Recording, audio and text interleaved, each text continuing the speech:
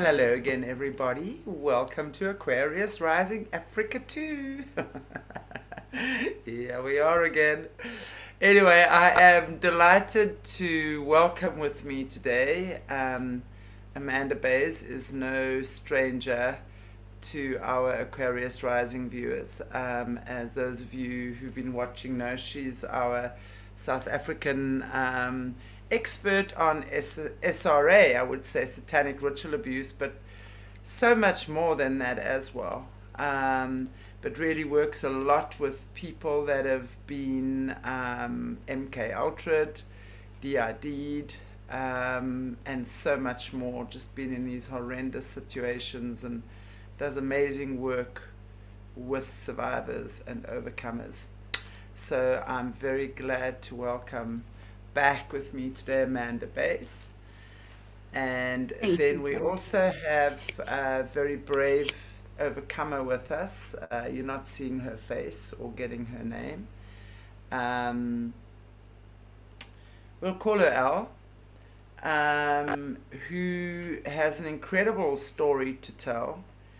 Um, a South African, or shall I say, grown up in South Africa, but has been one of these that has had a lot of very high level programming, abuse, SRA, um, perpetuated onto her person, if we can put it that way.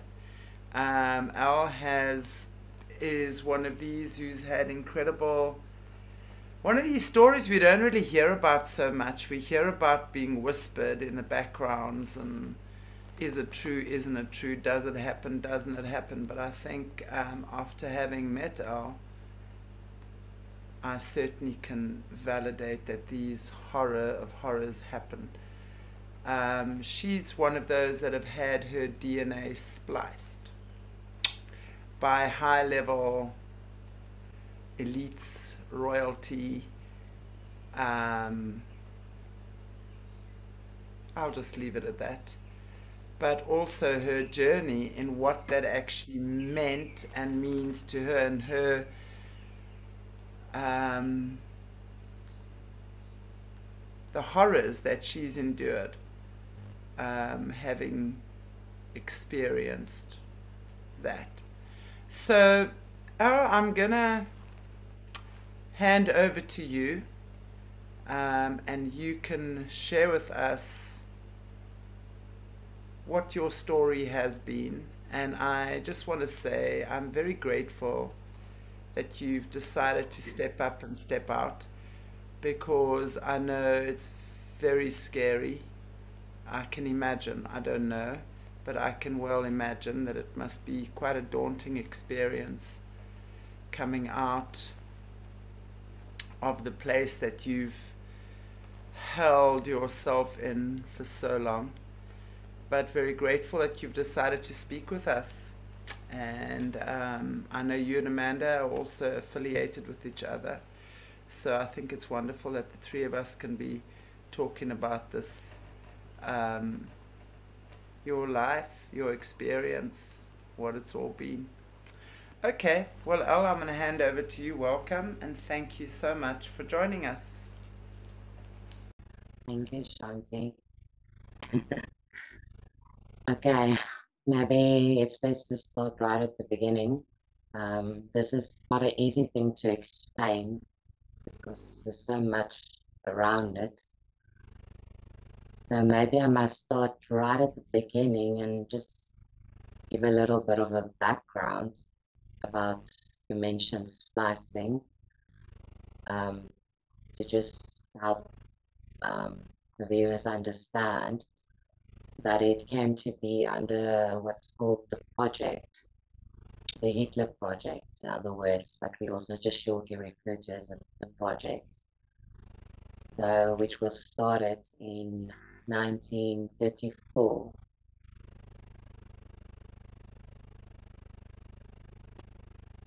Sorry, I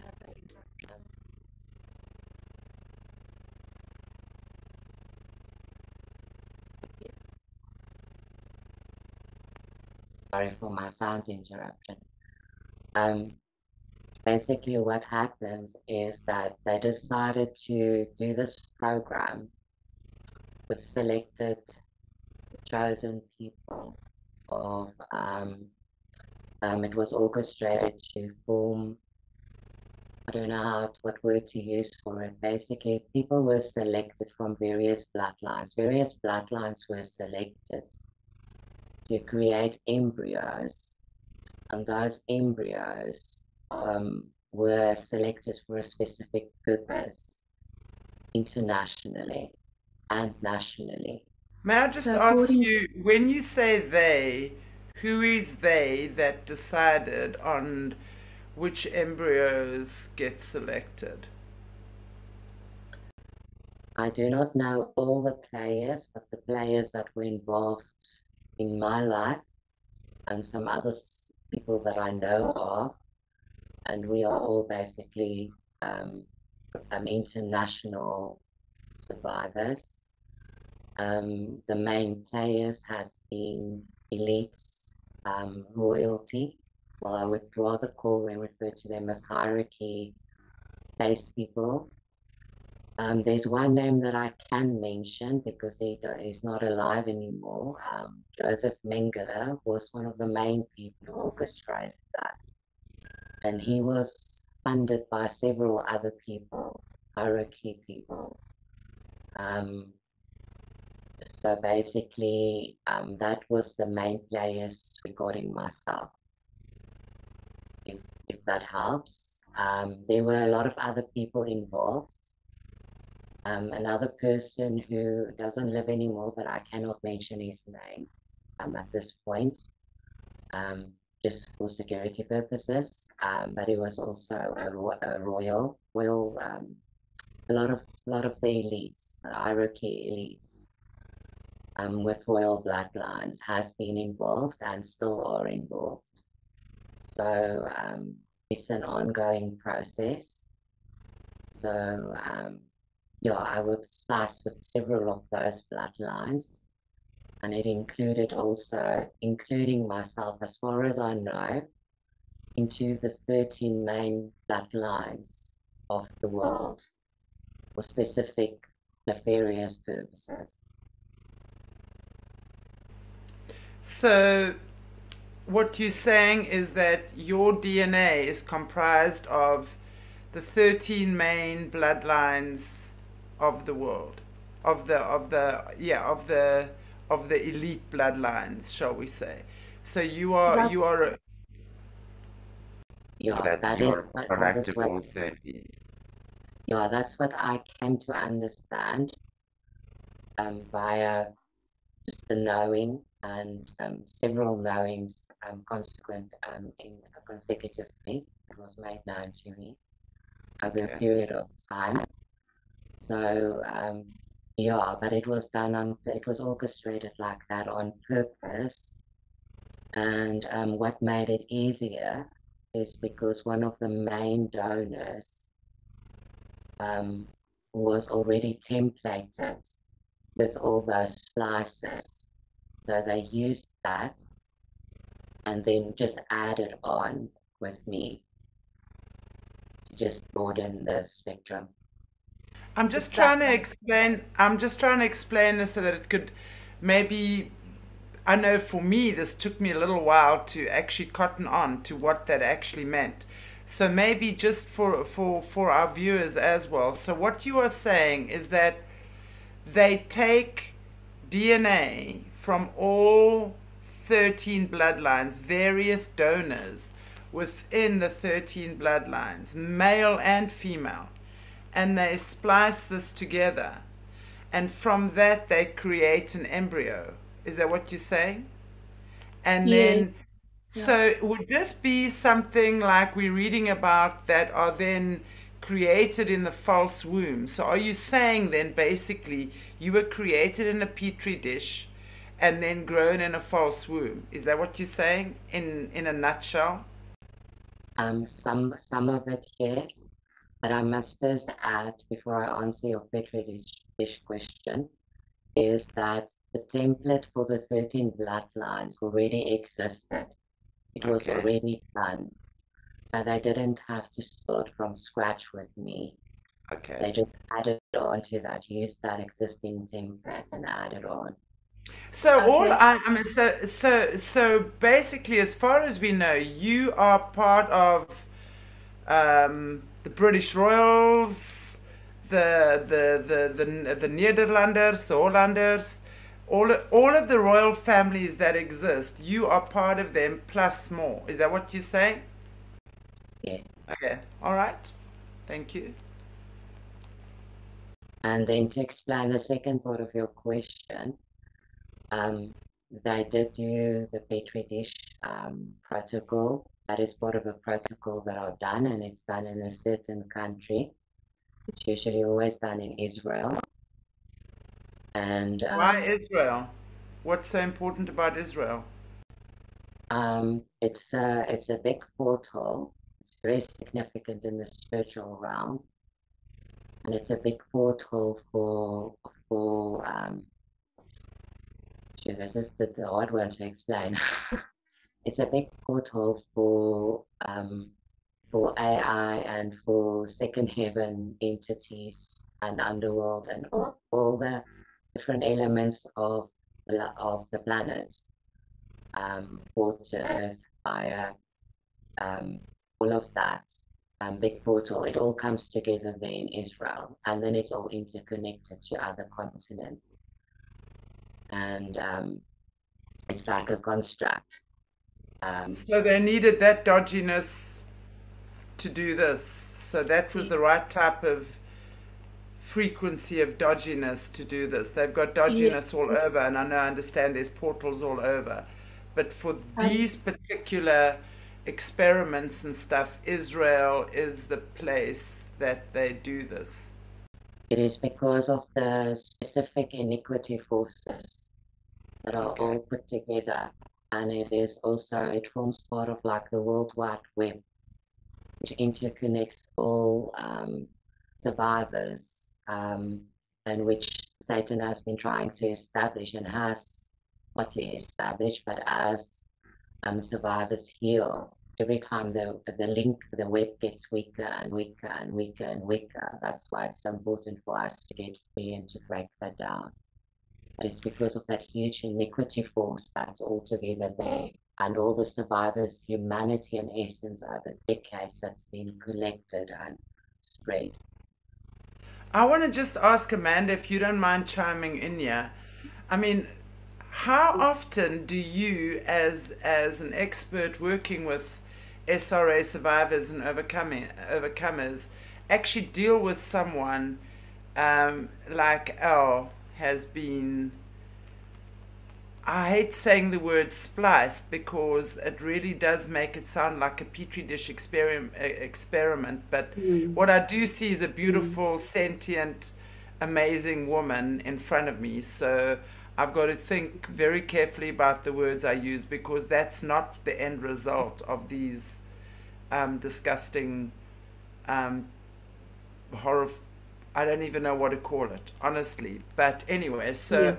Yeah. Amanda, what do you, what do you, I mean, how do you deal with this? I mean, this can't be the first case like this you're hearing about, right?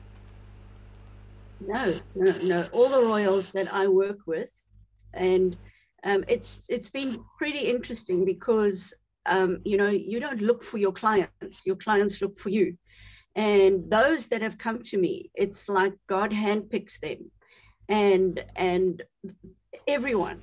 Um, there hasn't been one that has not been uh, one of these uh, 13 or 11 or whatever bloodlines um, that come that tells the same story that it gets repeated different countries um, different ages uh, male female um, telling the same sort of stories you know so no it it, it happens a lot um, you do get the lower you know again you don't want to be derogative but you do get lower ranking uh, families that are not part of the 13 bloodlines. Um, and to prove that you are part of the 13 bloodlines, um, you have to prove that you come from the bloodline of Charlemagne. And um, I mean, that's way back. So that started in the 8th century. And by the 12th century, everything was, was settled. And the very first Holocaust in the world that ever happened happened in the 12th century. And so um, Charlemagne is was this king. And if you say you're a royal today and you are part of the top bloodlines, you have to be able to prove that you come uh, from, from King Charlemagne. From the 12th century onwards, your bloodline, that, that's your proof. And so, um, you know, when you and I are, we still got some sessions to go as we unpacking this whole thing globally. Um, I'm going to be touching on that and I'll be showing you slides and we'll be going through the years and exactly what they did.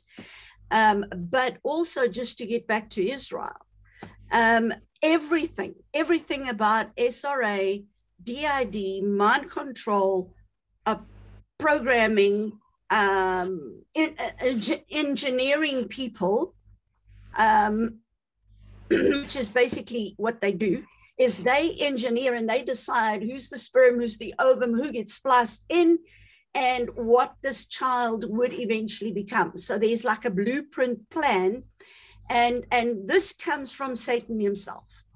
So it's the humans are basically just um, carrying out the plan, but the commands come from Satan himself. Now, if if we know the Bible, we know that uh, since the beginning of time, Satan has tried to overthrow God. That's been his plan. That's why he came to Adam and Eve. Um, he tried to bring deception from the garden and um, just threw uh, the whole apple cart over. So, from the beginning of time, Satan has tried to um, overthrow God, to uh, beat him at his game, uh, to raise up an army to overthrow him from his throne and take over. That's just been his whole his whole aim in life. That's what it's been. But he also knows what the Bible says. He knows that he has a time. He has a timeline. He has a beginning and he has an end, because he's a created being. He's yeah. not. Um, he's he's not God. He'll never yeah. be God. And so yeah. him and a third of his angels that he could uh, conv- convince, they were kicked out of heaven when they tried to rebel and take over God's throne.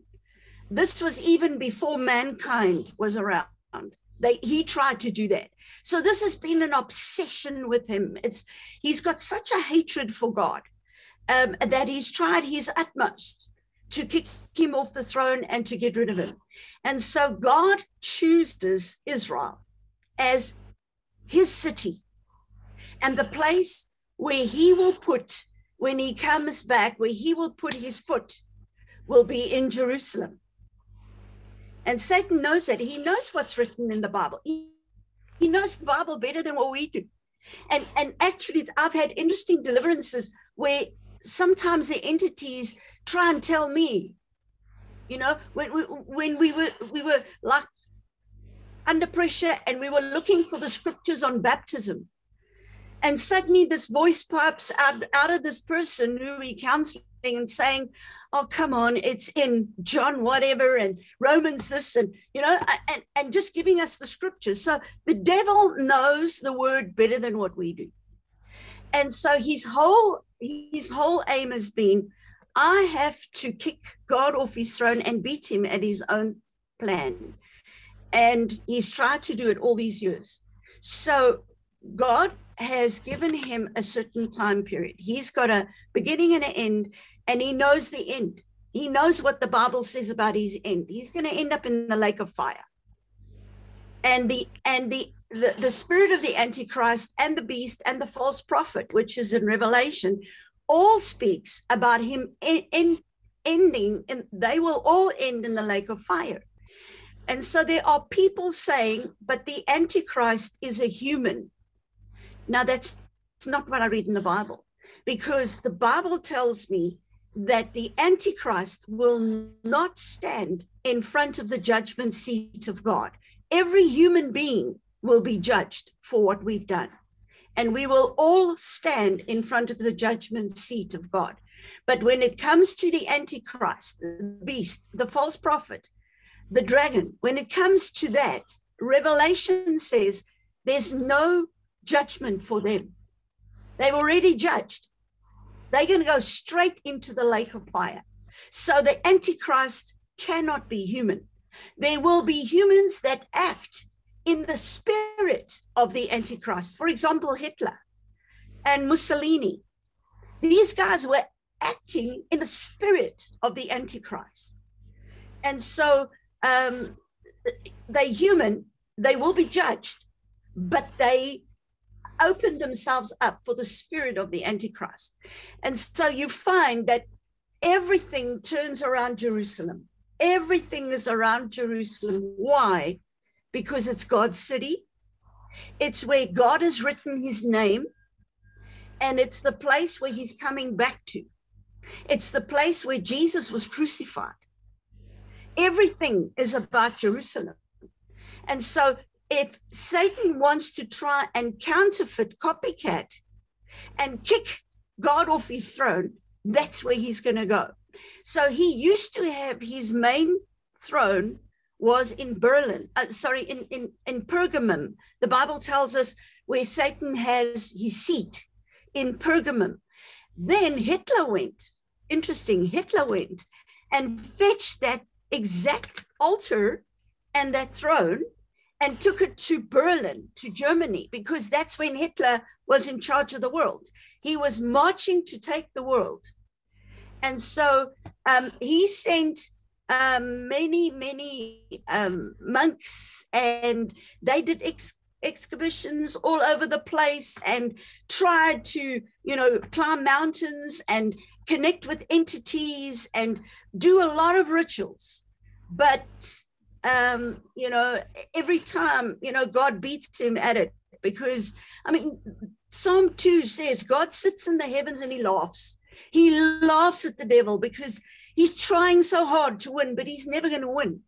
And the prop, the sad thing is, he can only win those who he's deceived. And what has happened is he's deceived these these 13 bloodlines, the royals. They're all part of his kingdom and they've all built their own reptilian race and all the rest. So um, they are deceived, highly deceived, and they think they're going to win. So um, the problem is the survivors, like Al. There were there parts of her her back parts that were cult aligned, that believed they're going to win. They believed Satan, but they found out, you know, and and the, what we do is we tell them you've been lied to. You've been tricked. You're not going to win. The devil's lost. I mean it's it's written. It's written.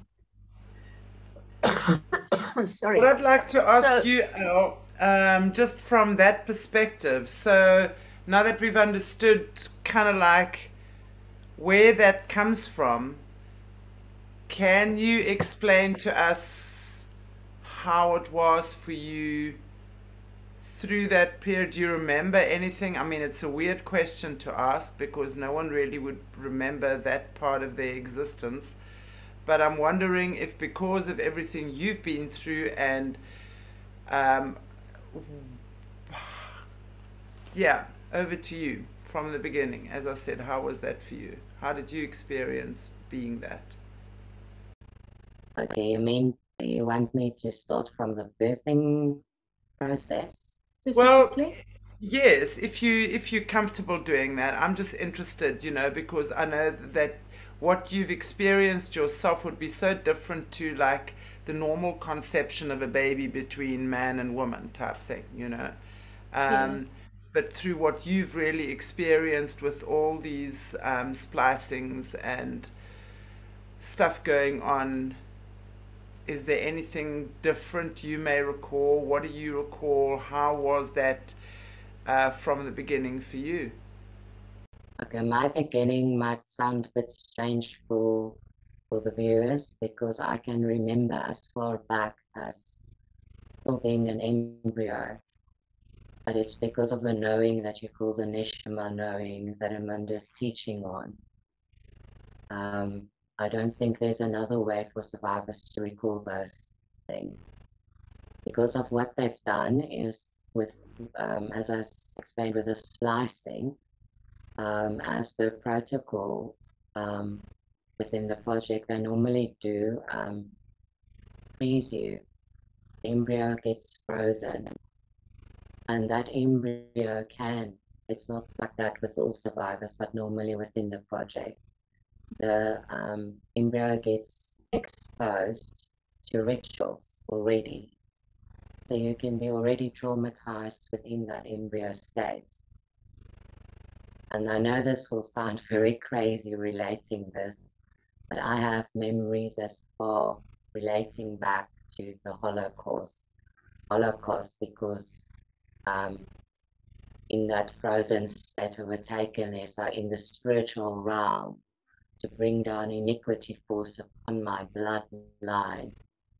I subject you to certain things to bring a down upon you, download from the supernatural realm. Iniquity forces upon you already and start splitting you already in the embryo. So that's the furthest back I remember. So you haven't even been put in a womb yet. No. Right. No. And you're still in your embryonic state. And I just, this to me is crazy that they can do this. So I want to just get this through to our viewers as well that this is how macabre this type of Stephen King stuff that Stephen King makes it look like a fairy tale. So you saying that in your embryonic embryonic state, you were taken to rituals, already started having the DID, which is the dissociative identity disorder. In other words, the splits coming from there. How how did they do this while you were still in embryo? Well, I had to research to understand for myself. So I do not have all the answers yet. What I do know for a fact is that I were taken to different embryo um, to different rituals, to different places, and what they do, how they do that is they can spiritually transport you, and physically that embryo can be implanted, even though in a frozen state, into a person's body, and that person goes to a ritual where in the body? And is this a woman that it's implanted into? It can be male or female. It can be Nephilim. It can be whatever they choose. Where do they implant it if it's the male? If it's a male, where do they implant it? I mean, I'm thinking, okay, if it's a woman, I can imagine they put it in the womb of the woman. But if it's a man, where do they implant this embryo? And obviously, it's, it's a temporary state. Abdominal, normally abdominal area. You must just this remember that in, that in Hitler's time during the World War II, they were already much more advanced than what the world knew of. Yeah, for sure. For sure. Absolutely. I've no doubt about that. These guys have had technologies. And that's why I think the average person on the street can't even begin to imagine that 5G can harm us in our current circumstances to the average person, that is too far fetched. And then we sound like we're talking from cloud cuckoo land when we just talk about that, let alone stuff like this. And that's what I'm saying, you know. I would really like to make it as clear and concise for our viewers as possible to understand what these freaks have been doing for such a long time. So, they literally take you in your embryonic form and they then spiritually they can implant you into a male or a female body, like a womb or a part of the abdomen, do you grow there? I mean, do they put you there for any amount of time? Or what do you do in there? Why are they putting you in there? Is that because they just want you to take on part of that character, part of that energy, part of that frequency, um, part of those characteristics? I can imagine that that's but why do they do that? Um, the, the first purpose of that is okay, maybe I can answer in two ways.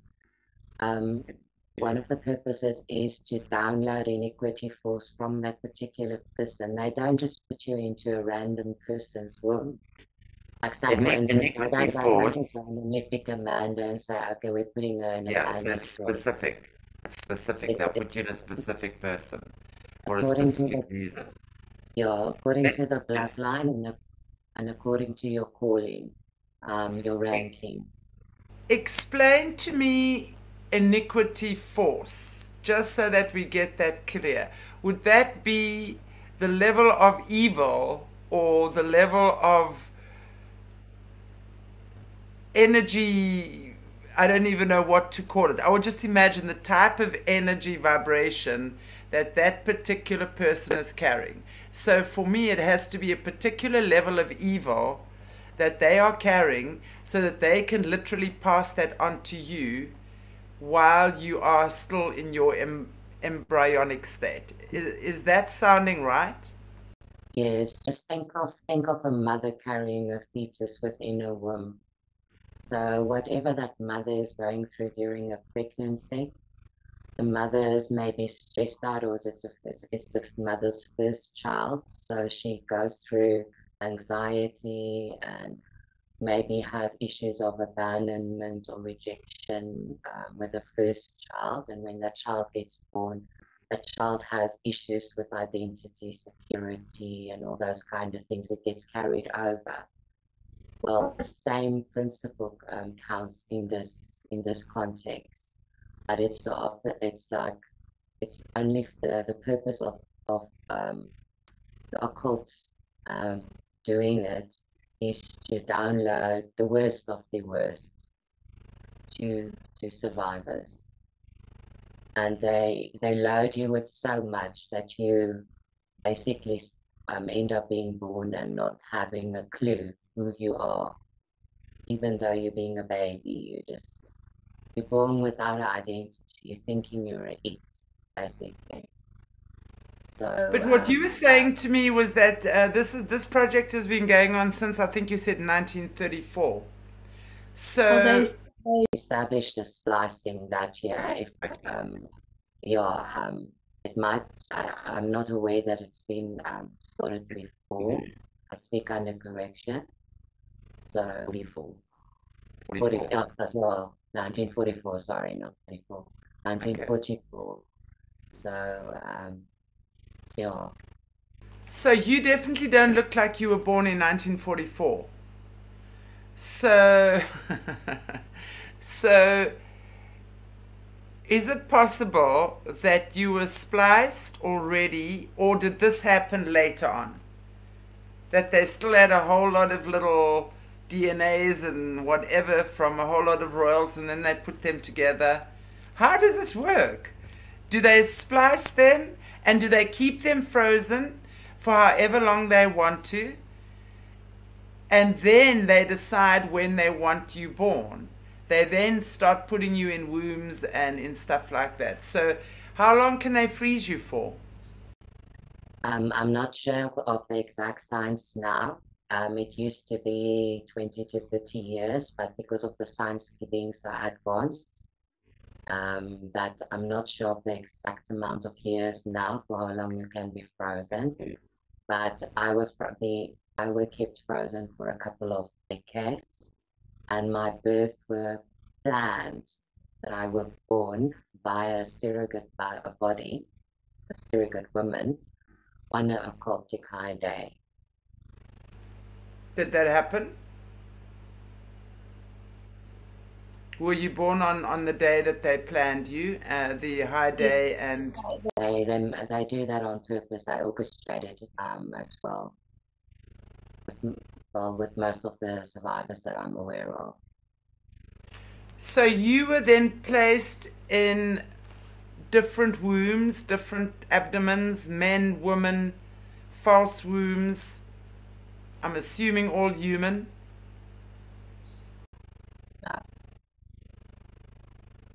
No. It wasn't all human, no. You were placed in an animal womb as well? Um, a Nephilim womb. Wow. Yes. Why?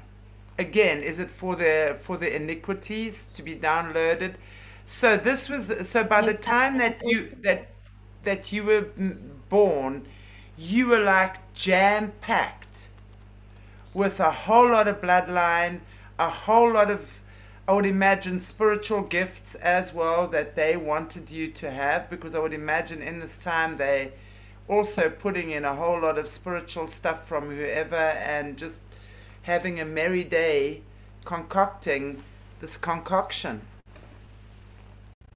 Yes, um, but you're asking about the Nephilim womb. It is because um, what Amanda once spoke of um, about that third DNA strand um, one of the reasons I do this, not just for the um, iniquity force, but also um, it creates trauma bonds.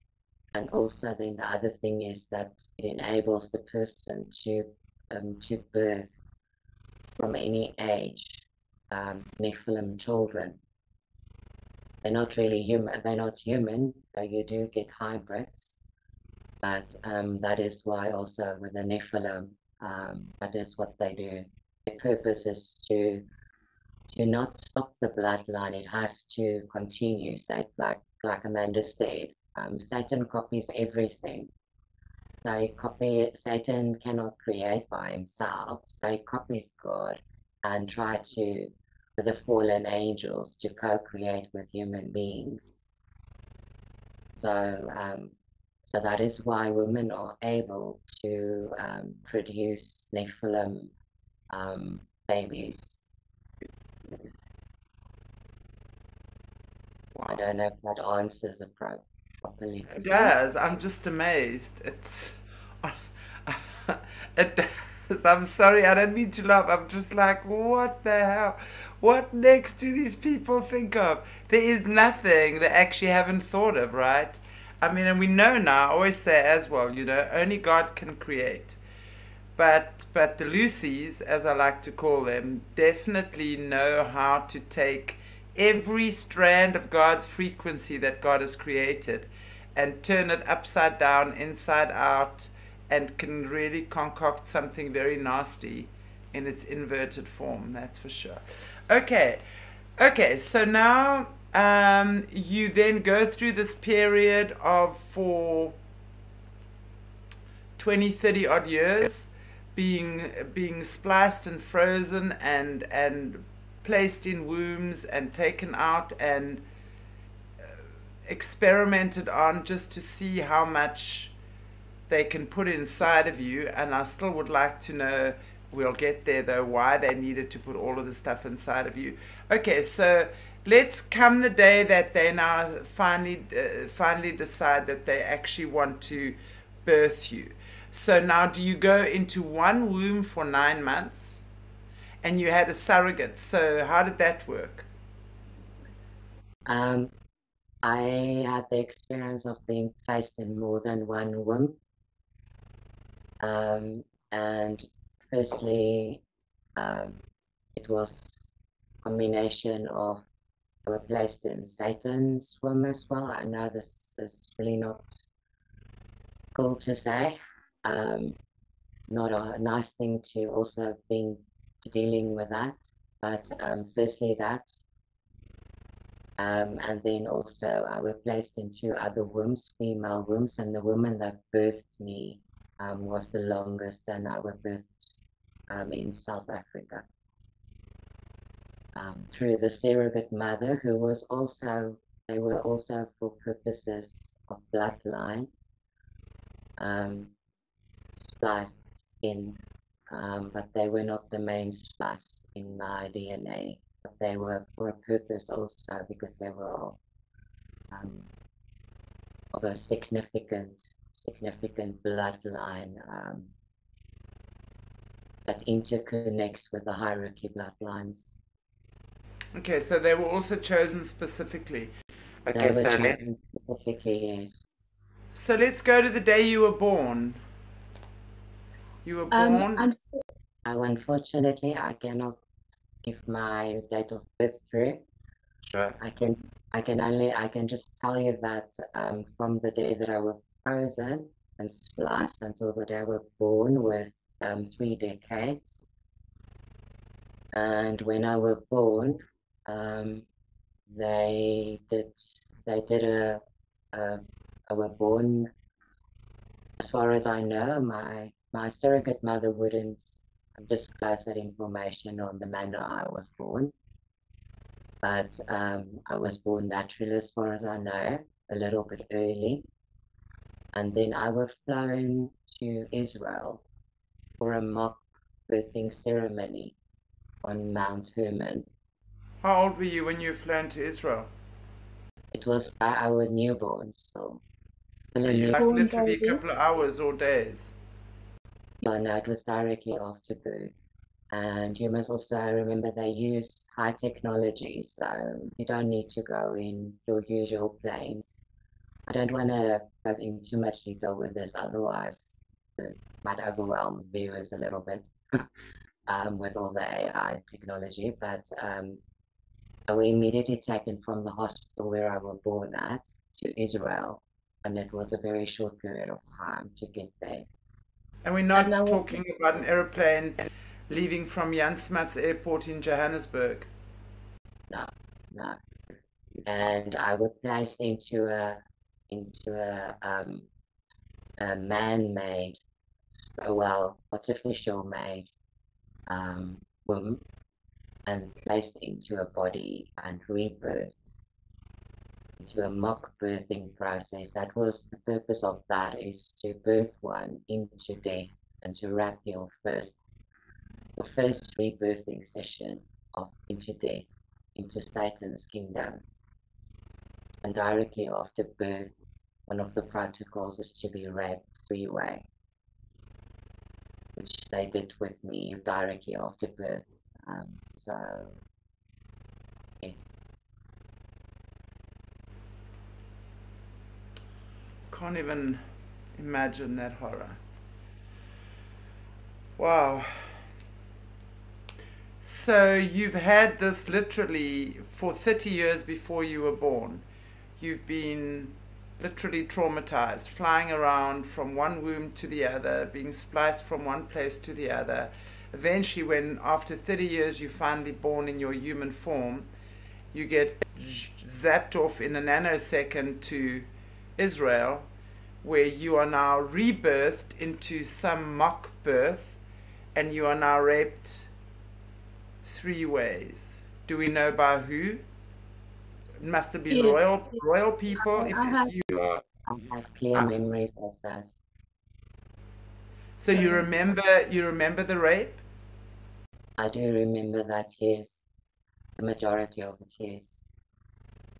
Um, I don't want you to get too graphic because I'm just again I'm also trying to understand and trying to get the our audience to understand as much as what they can as well from a newborn's perspective and I understand why you have memory of this from the from the neshama absolutely I completely understand that but from the newborn's perspective can you help us understand what you remember of that time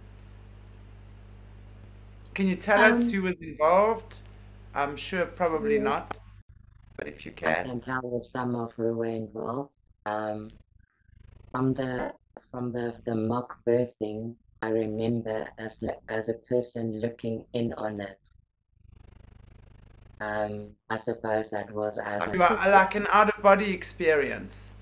Almost like that, looking in on myself being birthed from this. It was a white sack which they used like an amniotic sack, but they used like a white translucent sac. Um, that experience I remember like that. I looked in on it, I saw it like that. I didn't feel that. But then when they did the rape, I remember that. Um, because I started having body memories before I had the cognitive memories. Um, so I remember the people who, who did that, um, they each do three way, right? Um, so just putting disclaimer of graphic information for the viewers um, that three-way rape involves, I don't know if it's okay to say this, but um, it will help other survivors maybe for validation. Um, vaginal, um, um, anal, and oral. Sodomizing also can include oral when you're so tiny. Um, and that's how they wrap you in death is because no human has been made to tolerate that apart from what God created us in a normal marital relationship. So um, Satan mocks and defiles everything God created for his purposes. So they use that, and basically, what happens is you, as a baby, basically choke to death, and they revive you afterwards. So, in that process, because of the acts that they do to you, they create those soul ties and the trauma bonds. So it establishes those necrotic forces. And um, three of the people that I do remember Satan in his human form. Um, and the one is the other one is Nimrod, which is an which is a Nephilim. He is one of the third created Nimrods produced by a human um, woman. And um, other one is a person, um, a, a royal, which I can't name. I can name, but I can't name on here. Um, his family members are still alive, so these those are the three main male people I remember. There was a woman present as well, which I know who she is, but I I'm not I can't name her just for her own security uh, purposes as well. Um, and then another person um, that was present, but I do not remember him being involved, was Josef Mengele. Was was he your one of your main handlers? Um, I had many main handlers, so it's kind of difficult to single one particular one out. But yes, he was. Yeah. So I, I mean, I can definitely see our interview is going to go more than than one interview. So I'm not going to rush anything at this point in time. So if you don't mind, just I'm going to take this slow. So let's then talk about if that was your introduction to life on planet Earth. Can you talk us through, let's say, the first five years of your life? um, between then and five years, round about there.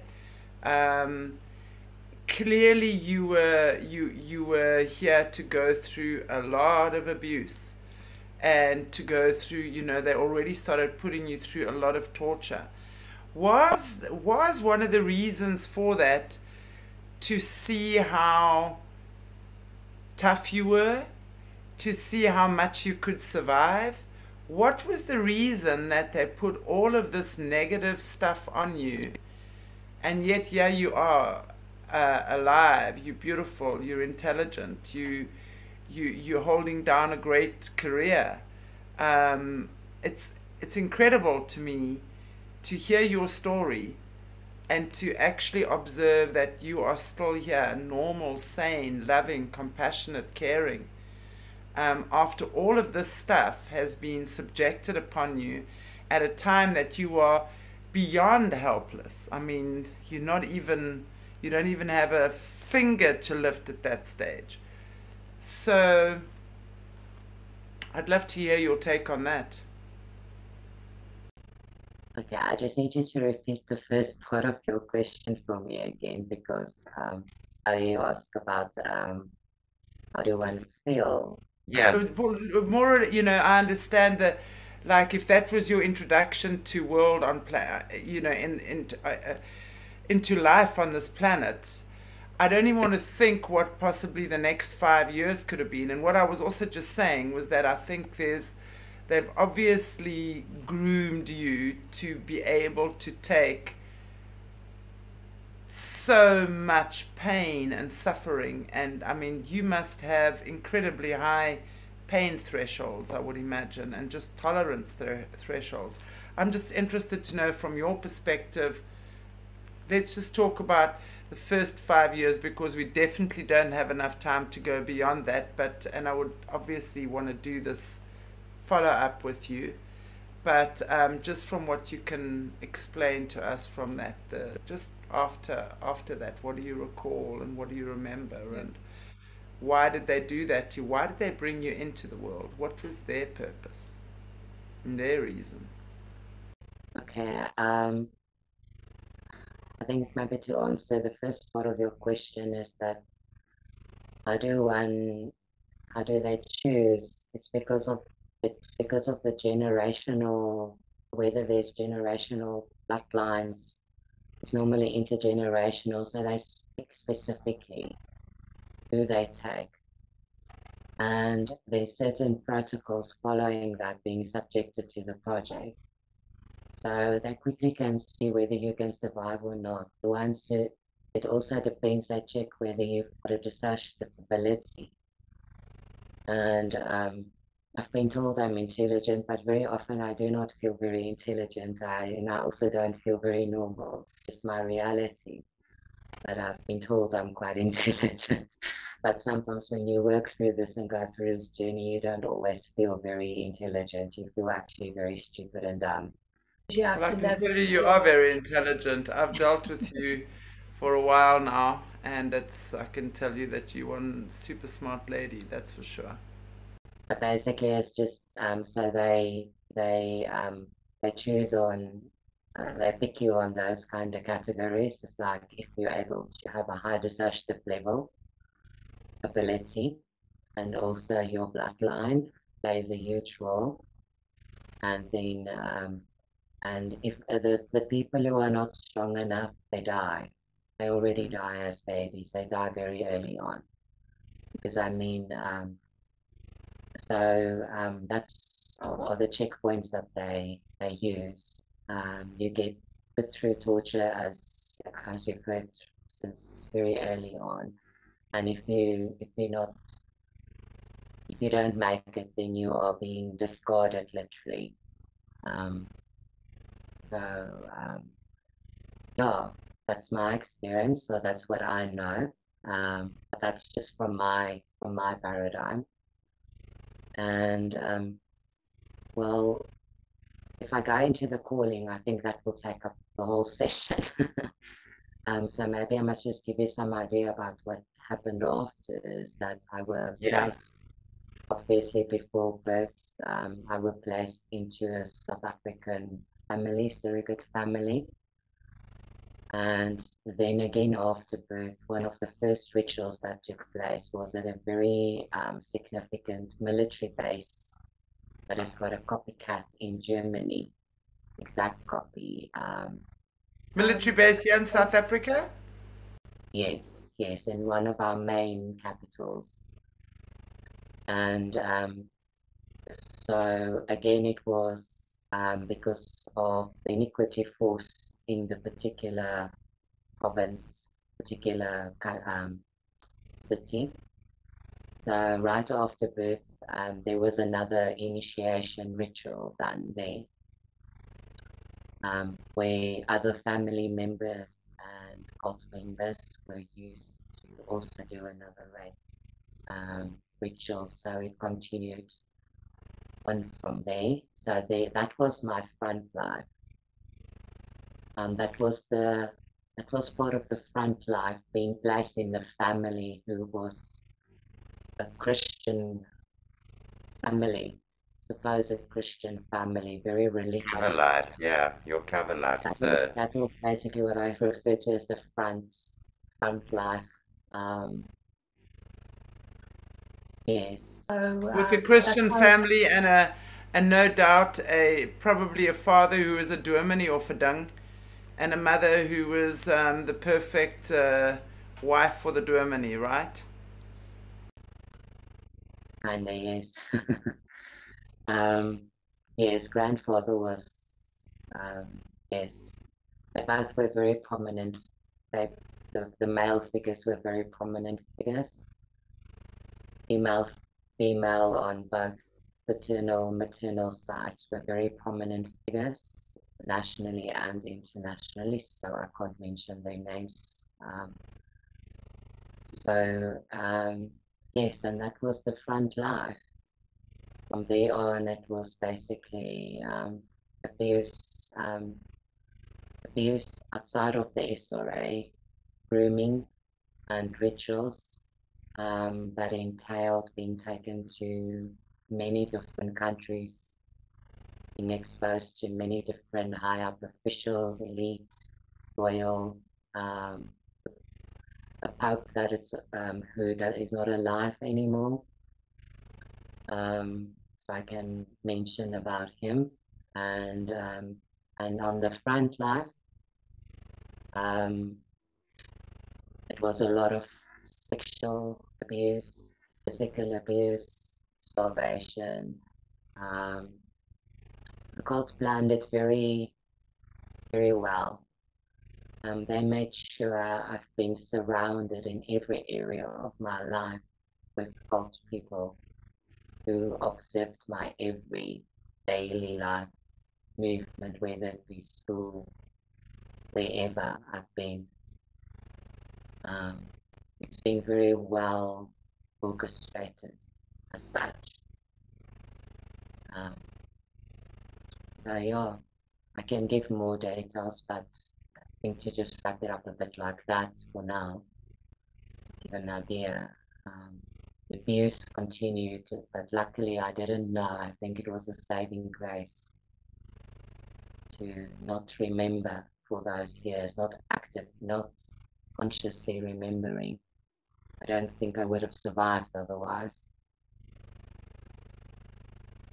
Yeah, I think maybe that DID sometimes is a is a is a blessing in disguise, right? Because I would imagine you have so many splits. I would imagine that in this situation, you would have had a lot of splits um, and different parts that you would have relied upon at different times, um, all in the name of survival. Wow. I must I must add to that, Shanti, that I um I've never been aware of it. Um, for up to about 20 years, I'd had no idea that I were abused. I had no memory of my childhood. So um, it was quite a shock when I did when it did start coming out and leaking out the information. So today I can say I'm grateful for the dissociation, but when it started coming out, I was so not grateful. I was very angry and denial and all of that. I'm very that you things such as dissociation. There's a place yeah. for it then um, sure. when I passed it. So, I do have because of the people I've been exposed to. Uh, sadly, very many parts I've been having to deal with and still yeah, I can't imagine. I can't imagine what what it would have been like if you didn't have that disassociation. That's for sure. I think just the trauma is enough to to kill anyone or to send you into groendakkies for the rest of your days. That's for sure. But um, yeah, I want to just say thank you for that. Uh, but before Amanda, is there anything you would like to just add in? Maybe chime in there um, on what Ella's been saying. Yeah, it's horrifying. I mean, you deal with yeah, this regularly as well. Yeah, yeah. Um, I think Chantel, what is also important for the viewers just to keep in mind around the um, the, the embryo that gets planted into different, you know, male or female um, cavities uh, I mean, a male doesn't have a womb, so it's a cavity, um, is to know that once they have um, the conception has taken place, then they place the, the, the embryo, that little that little bundle of cells that's now a baby, they place into a blue ball, and that's how the survivors describe it. Um, they they only see it as a blue ball. So it's it's it's a little blue ball that um, supplies them protection and food and everything they need. And that blue ball comes from Satan. That's something that's been devised um, by Satan and empowered by him.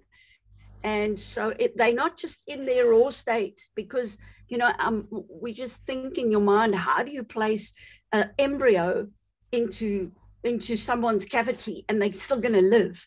But they get put into a little blue ball and in that frozen state.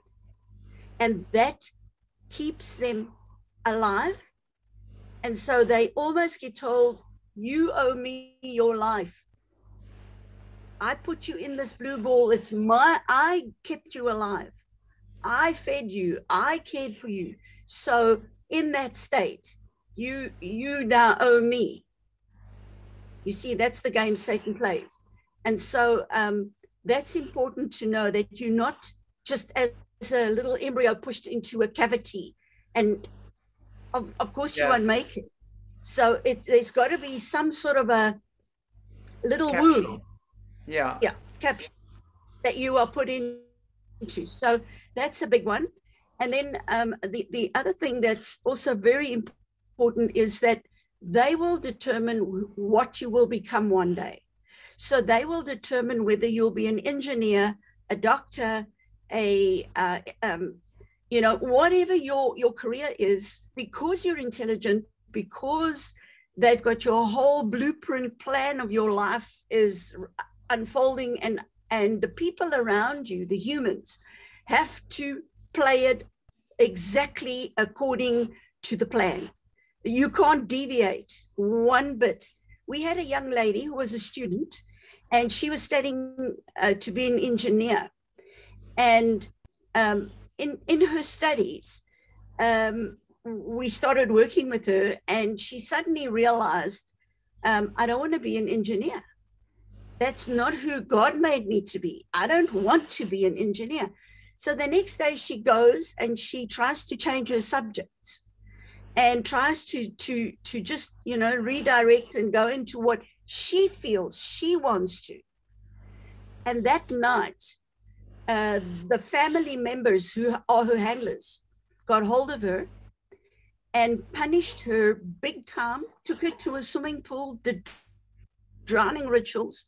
She came back to us the next day blue absolutely so raped and um, uh, death rituals and and beaten up. And they said to her, Come what may, you will be an engineer.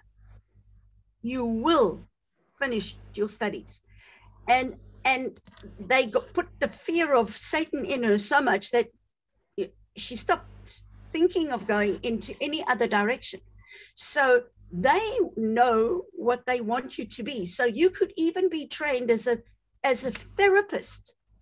And this is what's been going on. They actually train you as a therapist so that you can block the, the people trying to find help. So what happens is they create a therapist part. And you will sit there as a therapist, and then this client comes in who's actually a survivor trying to get out. And this therapist would switch and she will become a perpetrator. She will become a programmer. And then she just reprograms you right back. And all the work, memories, what they call bleeding of memories, flooding, stuff coming forward, they just put it right under and it's gone again. And so they they know exactly what they want you to be. So they can make you a doctor because as a doctor, you're going to have to program others because yeah, this is scientific. Exactly. Yeah, exactly. Very scientific. So, so they have their people in the teeth. So they they've already over the years they've already put people in place to infiltrate everywhere. It's not just in the upper right. echelon. Wow. This is a generation. I mean, they are all, if you're talking bloodline and you're talking royal, they will only be sent to royal doctors. They'll only be sent to the royals, those that are trained at, at that level. So they won't Yeah. send a lower worker bee who's just um, making babies for them to kill. They won't send them to a royal doctor. No. You see, Sure. so, so it's the ranking, very, very Yeah. important, the ranking. Wow. So, but they will just, they would decide what your future will be so that in that position, you will kill. In that, pos- because now you become a perpetrator. You see, as Yeah. a child, you're a victim.